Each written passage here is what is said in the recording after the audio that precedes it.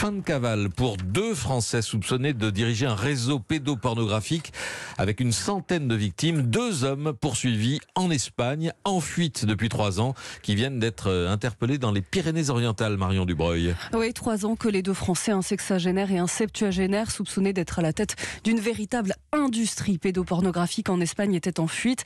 Ils avaient été interpellés en 2016 avec cinq autres complices, puis libérés sous contrôle judiciaire en attente de leur procès en 2019.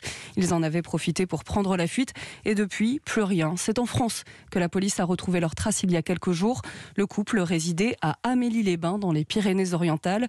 Le premier suspect a été interpellé alors qu'il retirait de l'argent à Perpignan, le second à leur domicile.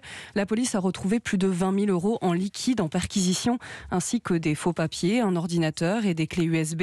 Pendant plus de 10 ans, le couple a alimenté un réseau pédopornographique avec plus de 500 utilisateurs.